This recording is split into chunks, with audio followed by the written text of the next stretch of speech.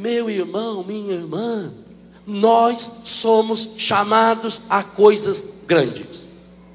E digo uma coisa a você: se você tem um projetinho pequenininho para a sua vidinha, você está no lugar e no canal errado. Muda de canal e muda de lugar. Não é aqui. Se você tem projeto pequeno para a sua vida, corre daqui.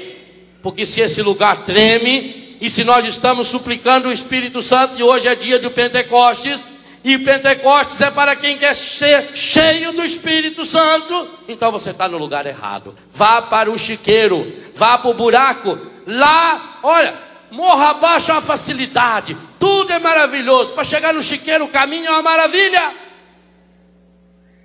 Mas é preciso mudar de ótica. Se eu quero ser do Paráclito, eu tenho que ser animado pelo Paráclito. Ora, se é Ele que nos defende dessas três grandes acusações: do mundo, do pecado e do encadido.